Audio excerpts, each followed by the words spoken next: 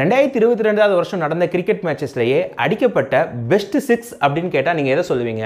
நீங்கள் ரெகுலராக கிரிக்கெட் பார்க்குறவராக இருந்தீங்கன்னா two thousand twenty two T twenty world கப்பில் இந்தியா பாகிஸ்தான் கிரிக்கெட் மேட்ச்சில் பத்தொன்பதாவது ஓவர் அஞ்சாவது பாலில் விராட் கோலி அடித்த அந்த சிக்ஸை சொல்லலாம்.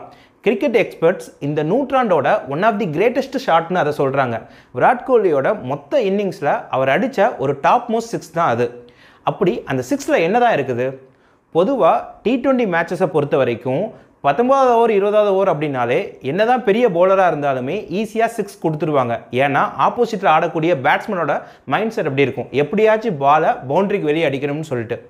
ஆனால் பாகிஸ்தான் பவுலர் ஹாரிஸ் ரவுஃப் வீசின அந்த பால் நூற்றி நாற்பது கிலோமீட்டர் பர் ஹவர் ஸ்பீடுக்கும் மேலே கரெக்டான லென்த்தில் எந்த ஒரு தப்புமே இல்லாமல் டெலிவரி செய்யப்பட்ட பால் அப்படிப்பட்ட பாலை பவுலரோட தலைக்கு மேலேயே ஸ்ட்ரைட்டாக தூக்கி சிக்ஸ் அடிக்கிறது அப்படிங்கிறது ரொம்பவே கஷ்டம்.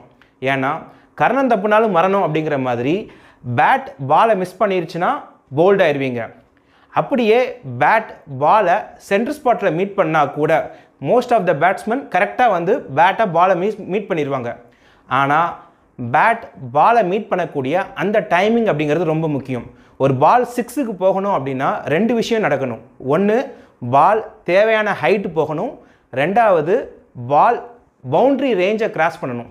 இந்த ரெண்டில் ஏதாச்சும் ஒன்று நடக்கலைன்னா கூட அவுட் ஆயிடுவாங்க ஸோ இதை ரெண்டையும் டிசைட் பண்ணுறது என்ன அப்படின்னா பேட் பாலை மீட் பண்ணக்கூடிய அந்த டைமிங் ஸோ இந்த டைமிங் எப் அப்படிங்கிறது ஆக்சுவலாக என்ன? இந்த டைமிங் எப்படி பாலோட ஹைட்டையும் அதோட ரேஞ்சையும் டிசைட் பண்ணுது அப்படிங்கிறதுக்கு பின்னாடி இருக்கக்கூடிய ஃபிசிக்ஸையும் மேக்ஸையும் தான் இந்த வீடியோவில் நம்ம பார்க்க போகிறோம்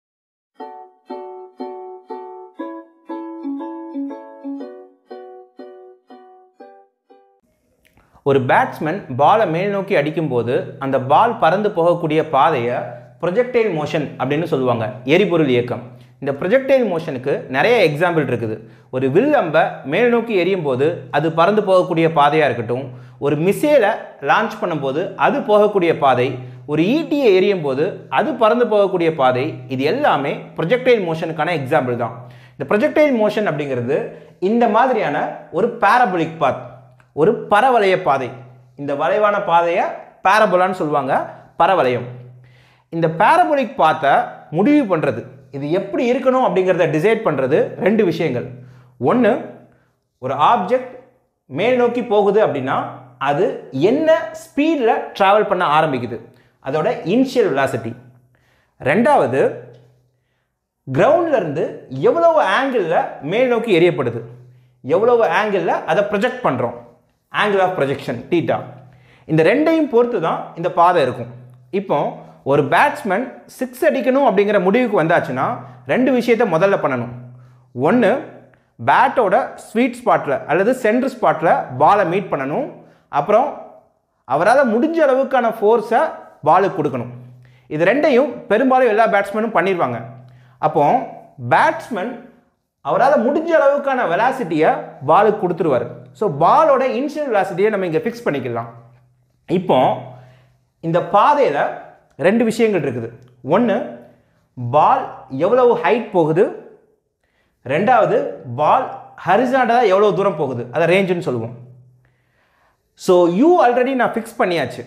என்னால் முடிஞ்ச அளவுக்கு யூவை கொடுத்தாச்சு. இப்போ ரெண்டாவது என்ன அப்படின்னு பார்த்தீங்கன்னா தீட்டா இந்த தீட்டா அப்படிங்கிறது எப்படி டிசைட் பண்ணப்படுது அப்படின்னு பார்த்தீங்கன்னா இப்போ இதுதான் ஒரு பேட்டோட ஸ்ட்ரைட் பொசிஷன் பாலை சிக்ஸுக்கு அடிக்கணும் அப்படின்னா ஸ்ட்ரைட்டாக சிக்ஸுக்கு அடிக்கணும் அப்படின்னா பேட்டை இந்த மாதிரி எடுத்துகிட்டு வரணும். இப்போ பால் பேட்டை எந்த ஆங்கிளில் மீட் பண்ணுது அப்படிங்கிறது முக்கியம். சரி எக்ஸாம்பிள் பேட்டை நீங்கள் சீக்கிரமாகவே முன்னாடி கொண்டு வந்துட்டீங்க அப்படின்னா டைமிங்கு கம்மியாக இருக்கும்னு அர்த்தம். சீக்கிரமாகவே முன்னாடி கொண்டு வந்துட்டோம் அப்படின்னா அதிகமான ஆங்கிளுக்கு பேட்டை நம்ம டில்ட் பண்ணிடுவோம். ஸோ இங்கே தான் படும். அல்லது லேட்டாக எடுத்துகிட்டு வந்தீங்க அப்படின்னா கம்மியான ஆங்கிளில் தான் பேட்டை ட்ரீட் பண்ணுவோம். ஸோ பேட் எந்த இடத்துல பாலை படுது? பேட்டில் எந்த இடத்துல பால் படுது? ரெண்டாவது இந்த இடத்துல பட்ட உடனே இதுக்கு பெர்பெண்டிகுலரான டைரெக்ஷனில் பால் ட்ராவல் ஆகும். இப்படி இருக்குது அப்படின்னா இதுக்கு பெர்பெண்டிகுலரான டைரெக்ஷனில் பால் ட்ராவல் ஆகும். ஸோ பாலை எந்த டைமிங்கில் மீட் பண்ணுறோம் அப்படிங்கிறத பொறுத்து தான் பேட்டோட டில்ட்டிங் ஆங்கிள் இருக்கும். இப்போ இங்கே பார்த்தீங்கன்னா இது பேட்டோட ஸ்ட்ரைட் பொசிஷன் நீங்கள் பேட்டை முன்னாடியே எடுத்துகிட்டு வந்துட்டீங்க அப்படின்னா சீக்கிரமாக வந்து பேட்டை ட்ரீட் பண்ணிட்டீங்க அப்படின்னா ஆங்கிள் அதிகமாக இருக்கும். லேட்டாக மீட் பண்ணுறீங்க அப்படின்னா ஆங்கிள் கம்மியாக இருக்கும். உதாரணத்துக்கு இந்த ஆங்கிளில் பால் பால் வந்து பேட்டை மீட் பண்ணுதுன்னு வச்சுக்கலாம். ஸோ இந்த ஆங்கிளில் தான் பால் வந்து பேட்டை மீட் பண்ணுது. பேட் இந்த ஆங்கிளில் இருக்கும்போது பால் வந்து படுது. இங்கே பட்ட உடனே பேட்டுக்கு பெர்பெண்டிகுலராக பேட்டுக்கு பெர்பெண்டிகுலராக பால் ட்ராவல் பண்ணும். ஸோ இதுதான் பேட்டோட பொசிஷன் இதுக்கு பெர்பெண்டிகுலராக பால் போகும். இப்போ நமக்கு தெரிய வேண்டியது என்ன அப்படின்னா பால் எந்த ஆங்கிளில் போகுது அப்படிங்கிறது. பேட்டை எந்த ஆங்கிளில் ட்ரில்ட் பண்ணியிருக்கிறேன் அப்படிங்கிறது டைமிங் இப்போ இந்த தீட்டா ஃபிக்ஸ் ஆயிடுச்சு அப்படின்னா சே எக்ஸாம்பிள் நான் ஒரு குறிப்பிட்ட டைமிங்கில் பால் பேட்டை மீட் பண்ணுது. அப்போ இது இதுதான் தீட்டா இது தீட்டா அப்படின்னா ஆட்டோமேட்டிக்காக இதுக்கு ஹரிசான்டாக இங்கே ஒரு லைன் போட்டுக்கிறேன். பேட்டோட பொசிஷன் இப்படி எக்ஸ்டெண்ட் பண்ணிக்கிறேன். இது தீட்டா அப்படின்னா ஆட்டோமேட்டிக்காக இதுவும் தீட்டா எனக்கு இது 90 டிகிரி இருக்கும். ஏன்னா இது இது வந்து ஹரிசாண்டல் லைன் இது வெர்டிக்கல் லைன் இது 90 டிகிரி இருக்கும். இது தீட்டா அப்படின்னா ஆட்டோமேட்டிக்காக இது 90 மைனஸ் தீட்டா இப்போ இது வந்து பேட்டோட பொசிஷன் இது வந்து பேட்டோட பொசிஷன் இது பால் போகக்கூடிய ஆங்கிள் இது ரெண்டுக்கும் இன்பிட்வீன் இருக்கக்கூடிய ஆங்கிள் 90 டிகிரி அப்போ இது 90 மைனஸ் தீட்டானா ஆட்டோமேட்டிக்காகவே இது தீட்டா ஸோ ரொம்ப ஈஸி இது தீட்டா அப்படின்னா ஆட்டோமேட்டிக்காக இதுவும் தீட்டா ஸோ பேட்டை நீங்கள் எந்த ஆங்கிளில் டில்ட் பண்ணுறீங்களோ அந்த ஆங்கிளில் தான் பால் மேலே பறந்து போக ஆரம்பிக்கும். ஓகே இப்போ பால் மேலே போக ஆரம்பிச்சிருச்சு. இப்போ ரெண்டு விஷயத்த பால் பண்ணணும். ஒன்று அது எவ்வளவு மேக்ஸிமம் ஹைட்டை ரீச் பண்ணும். ரெண்டாவது ஹரிசாண்டலாக எவ்வளோ தூரத்தை போய் சென்றடையும். இந்த ரெண்டில் எனக்கு ஹைட் கிடைக்கல அப்படின்னாலும் அவுட் ஆயிடுவாங்க ரேஞ்ச் கிடைக்கல அப்படின்னா ஆட்டோமேட்டிக்காக பால் பவுண்ட்ரிக்குள்ளே தான் இருக்கும். அவுட் ஆகிறதுக்கு வாய்ப்பு அதிகம். அப்போ ஓரளவுக்கு ஹைட்டும் கிடைக்கணும் ரேஞ்சும் இருக்கணும். பட் நம்ம மேக்ஸிமமாக வெலாசிட்டி அதிகமான கொடுக்கும்போது ஏன்னா சிக்ஸ் அடிக்கணும் அப்படிங்கும்போது நம்மளால் முடிஞ்ச அளவுக்கு ஃபோர்ஸ் கொடுத்துருவோம். ஸோ ஹைட் அப்படிங்கிறது ஓரளவுக்கு கிடச்சிரும். பிரச்சனை என்ன அப்படின்னா இந்த ரேஞ்ச் பவுண்ட்ரியை தாண்டி பால் போகணும். அப்போ இந்த ரேஞ்ச் எப்படி முடிவு பண்ணுறது அப்படின்னு இப்போ பார்க்கலாம். ஒரு பால் இப்படி போக ஆரம்பிக்குது அப்படின்னா இப்படி போக ஆரம்பிக்குது அப்படின்னா அது ஹரிசாண்டலாக இவ்வளோ தூரம் வெர்டிக்கலாக இவ்வளோ தூரம். அதாவது ரெண்டு டிஸ்டன்ஸ் அது ட்ராவல் பண்ணுது. ஹரிசாண்டலாக ட்ராவல் பண்ணுது வெர்டிக்கலாகவும் ட்ராவல் பண்ணுது. இப்போ நமக்கு இந்த வெலாசிட்டி தெரியும். இதை நம்ம யூன்னு வச்சுருக்குறோம். நமக்கு என்ன தெரியணும் அப்படின்னா இது ஹரிசாண்டல் டிஸ்டன்ஸ் ஹைட் அப்படிங்கிறது வெர்டிக்கல் டிஸ்டன்ஸ் அப்போ நான் என்ன கண்டுபிடிக்கணும் அப்படின்னா முதல்ல இது யூ அப்படின்னா வெலாசிட்டி இந்த டைரக்ஷனில் இருக்குது. இந்த வெலாசிட்டி ரெண்டு வேலையை பண்ணும். பாலை ஹரிசாண்டலாகவும் எடுத்துகிட்டு போகும் வெர்டிக்கலாகவும் எடுத்துகிட்டு போகும். அப்போ இந்த வெலாசிட்டியில் ஹரிசாண்டல் எவ்வளவு வெர்டிக்கல் எவ்வளவுன்னு கண்டுபிடிக்கணும். இப்போ இங்கே பாருங்கள் இதுதான் வந்து பார்த்தீங்கன்னா யூன்னு வச்சுக்கலாம். உதாரணத்துக்கு யூ அப்படிங்கிறது ஃபிஃப்டி மீட்ரு பெர் செகண்ட் அப்படின்னு ஒரு உதாரணத்துக்கு வச்சுக்கலாம். அப்படின்னா என்ன அர்த்தம்? ஒரு செகண்டுக்கு இங்கேருந்து இங்கே போச்சு அப்படின்னா ஐம்பது மீட்ரு பால் ட்ராவல் பண்ணியிருக்கும். ஒரு செகண்டில் இங்கேருந்து இங்கே வரைக்கும் ஐம்பது மீட்டர். இப்போ நமக்கு என்ன தெரியணும் அப்படின்னா அதே ஒரு செகண்டில் ஹரிசாண்டலாக எவ்வளவு தூரம் வெர்டிக்கலாக எவ்வளவு தூரம் இது தெரிஞ்சிருக்கணும். அப்போ இந்த ரெண்டையும் முடிவு பண்ணுறது யாருன்னா டீட்டா தான்.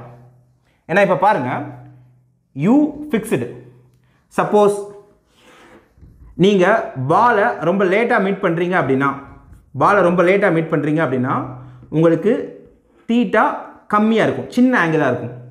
அப்போ தீட்டா கம்மியாக இருக்கும்போது ஆட்டோமேட்டிக்காக ஹைட்டு கம்மியாயிரும். அதுவே வந்து பார்த்தீங்கன்னா இந்த டிஸ்டன்ஸ் வந்து பார்த்திங்கன்னா அதிகமாக இருக்கும். ஸோ ஒரு ட்ரையாங்கிளில் இது 90 டிகிரியில் இருக்கும். இந்த மாதிரி ட்ரையாங்கிளை நார்மல் ட்ரையாங்கிள் அல்லது ரைட் ஆங்கிள் ட்ரையாங்கிள்னு சொல்லுவோம். இந்த ட்ரையாங்கிளில் இந்த போர்ஷனுக்கு பேர் நமக்கு தெரியும் ஹைப்போட்டனியஸ் கர்ணம்னு சொல்லுவோம். இது அஜசன்ட் சைடு இது ஆப்போசிட் சைடு ஸோ இந்த ஹைப்போட்டேனியஸ் இந்த ஆங்கிள் இது ரெண்டும் தான் அட்ஜசனில் எவ்வளோ இருக்கணும்? அதாவது இந்த பக்கம் எவ்வளோ லென்த் இருக்கணும்? இந்த ஆப்போசிட் சைடு எதிர் பக்கம் எவ்வளோ லென்த் இருக்கணும்? அப்படிங்கிறத டிசைட் பண்ணுது. நீங்கள் தீட்டா கம்மியாக இருந்துச்சு அப்படின்னா அட்ஜசன்ட் சைடு அதிகமாக இருக்கும் ஆப்போசிட் சைடு கம்மியாக இருக்கும். இப்போ தீட்டா ரொம்ப அதிகமாக இருக்குது. இவங்க பார்த்தீங்கன்னா தீட்டா ஜாஸ்தி. அப்போ இந்த கேஸில் ஆப்போசிட் சைட் பெருசாக இருக்கும் அஜசன் சைடு சின்னதாக இருக்கும். அப்போது நமக்கு தெரியுது இந்த தீட்டா தான் ஆப்போசிட் சைடு அஜசன் சைடு இது ரெண்டையுமே எதோட ரிலேட் பண்ணுது? ஹைப்போட்டனியஸோட ரிலேட் பண்ணுது. அப்போ இந்த மூணு பேரையும் ரிலேட் பண்ணக்கூடிய யூ அதாவது hypotenuse opposite side adjacent side இந்த மூணு சைடையும் இந்த தீட்டாவோட ரிலேட் பண்ணக்கூடிய விஷயத்தை தான் நம்ம ட்ரிக்னாமெட்ரிக் ரேஷியோன்னு சொல்லுவோம். முக்கோணவியல் விகிதங்கள்னு நம்ம சின்ன வயசில் படிச்சிருப்போம். யார்? பேசிக்காக ரெண்டு பேர் இருக்காங்க. அதில் ஒன்று சைன் தீட்டா இன்னொன்று காஸ் தீட்டா நமக்கு தெரியும் சைன் தீட்டா அப்படிங்கிறது opposite side by hypotenuse cos theta அப்படிங்கிறது அட்ஜசன்ட் சைட் பை ஹைப்போட்டேனியஸ் அப்போ எனக்கு ஆப்போசிட் சைடு வேணும்.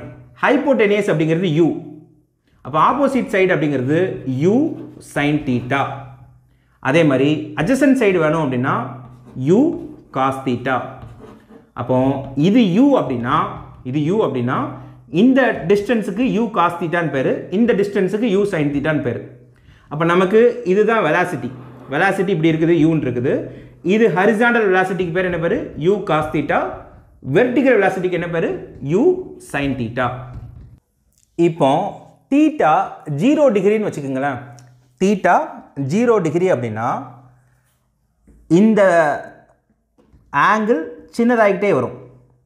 தட் மீன்ஸ் நீங்கள் இப்படி அடிக்கிறீங்க. ஒரு பாலை இப்படி தான் அடிக்கிறீங்க. ஸோ அது ஹரிசாண்டலாக மட்டும்தான் ட்ராவல் பண்ணும். வெர்டிகலாக ட்ராவல் பண்ணவே செய்யாது. ஸோ தீட்டா ஜீரோ டிகிரி அப்படின்னா ஆப்போசிட் சைடே இருக்காது.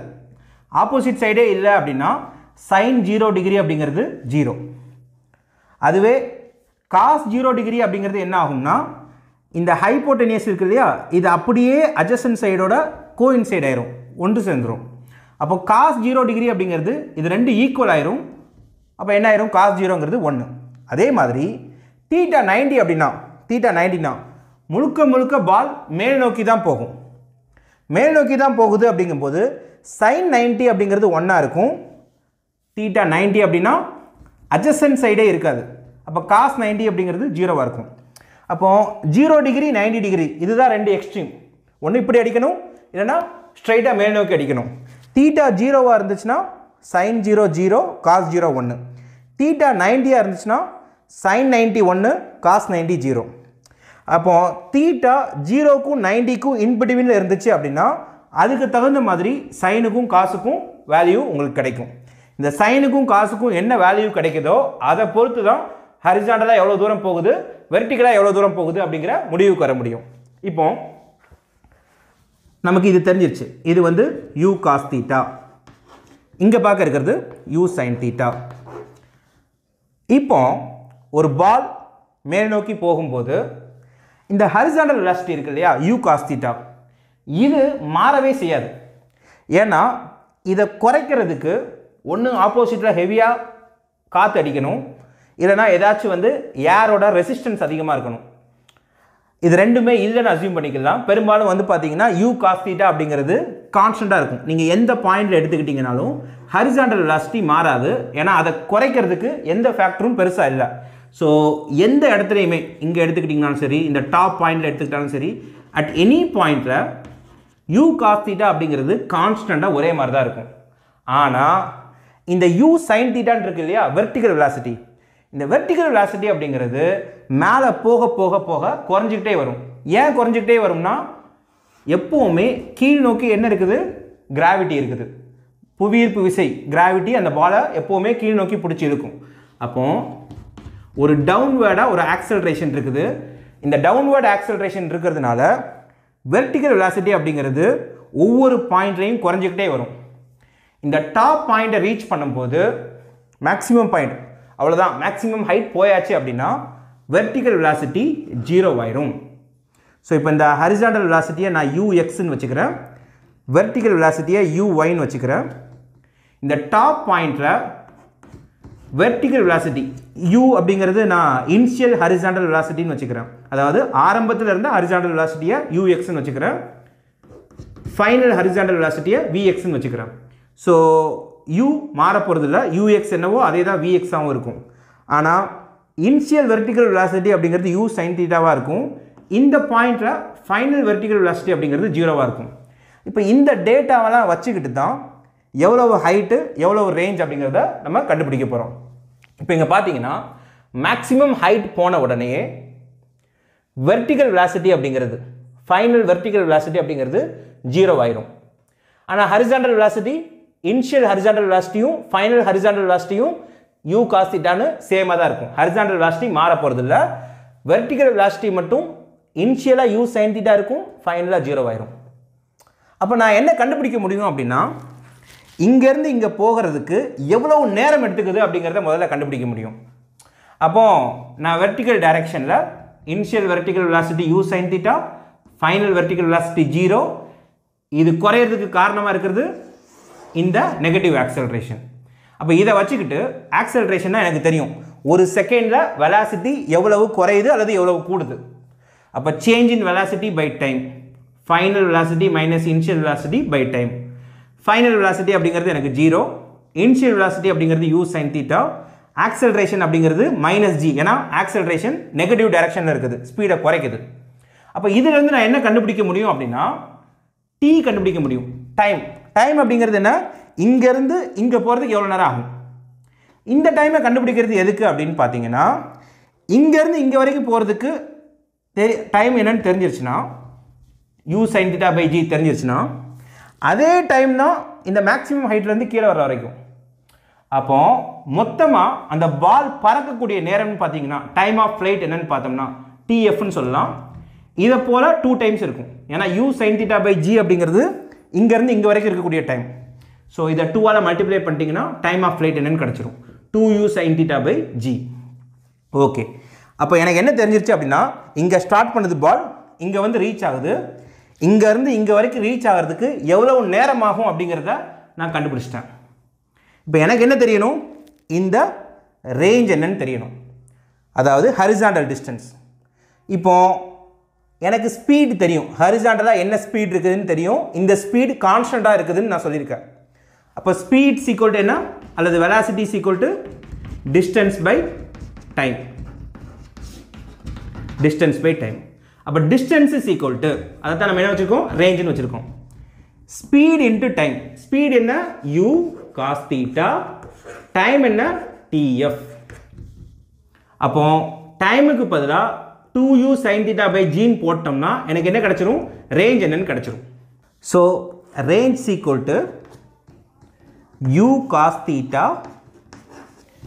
u cos theta into time of flight time of flight என்ன? Two u sine theta by g two u sine theta by g அப்போ எனக்கு என்ன வருது அப்படின்னு பார்த்தீங்கன்னா range is equal to two into u square sine theta cos theta by g ட்ரிக்னாமெட்ரியில் two sine theta cos தீட்டாவை two sine theta cos தீட்டாவை sine two தீட்டான்னு சொல்லிட்டு சொல்லுவாங்க. ஃபார்முலா இருக்குது. டூ சைன் தீட்டா காஸ் தீட்டாவை சைன் டூ தீட்டான்னு சொல்லுவாங்க. அப்போ இது என்ன வருது அப்படின்னு பார்த்தீங்கன்னா u square sine two theta by g இதுதான் ரேஞ்சுக்கான ஃபார்முலா என்ன? U square sine two theta by g so ரேஞ்சோட formula எனக்கு என்னென்னு தெரிஞ்சிருச்சு. அப்போ ரேஞ்சை முடிவு பண்ணுறது யார் அப்படின்னு பார்த்தீங்கன்னா ஒன்று ஸ்பீடு இனிஷியலாக என்ன ஸ்பீடில் அடிக்கிறீங்க அப்படிங்கிறது. ரெண்டாவது தீட்டா இப்போ அடுத்த கொஸ்டின் என்ன அப்படின்னா எந்த தீட்டாவுக்கு ரேஞ்ச் மேக்ஸிமமாக இருக்கும் அப்படிங்கிறது. இப்போ நான் ஏற்கனவே சொல்லியிருக்கிறேன் சைனை பொறுத்த வரைக்கும் 90 டிகிரி வந்துச்சுன்னா தான் மேக்ஸிமம் வேல்யூ அதுக்கு கிடைக்கும். அப்போ 90 டிகிரி அப்படின்னா தீட்டா 90 டிகிரி கிடையாது. இங்கே என்ன இருக்குது? டூ தீட்டா ஏன்னா R equal to u square sine two theta by G இல்லையா? அப்போ இந்த பர்டிகுலர் டேர்ம் இந்த பர்டிகுலர் டேர்மோட அதிகபட்ச மதிப்பே ஒன்று தான் இப்போ சைன் டூ தீட்டாவோட அதிகபட்ச மதிப்பே என்ன? ஒன்று தான் அப்போ எப்போ இந்த அதிகபட்ச மதிப்பு வரும் அப்படின்னு பார்த்தீங்கன்னா இந்த டூ தீட்டா அப்படிங்கிறது 90 டிகிரிக்கு ஈக்குவலாக இருக்கணும். டூ தீட்டா 90 டிகிரிக்கு ஈக்குவலாக இருக்கணும்னா தீட்டா எவ்வளோ டிகிரி இருக்கணும்? ஃபார்ட்டி ஃபைவ் டிகிரி இருக்கணும். அப்போ உங்களுக்கு மேக்ஸிமம் ரேஞ்ச் எப்போ கிடைக்கும் அப்படின்னு பார்த்தீங்கன்னா யூ ஸ்கொயர் பை ஜி இங்கே sine two into forty five degree கரெக்டாக two into forty five டிகிரினா ninety degree u square by ஜின்னு வந்துடும்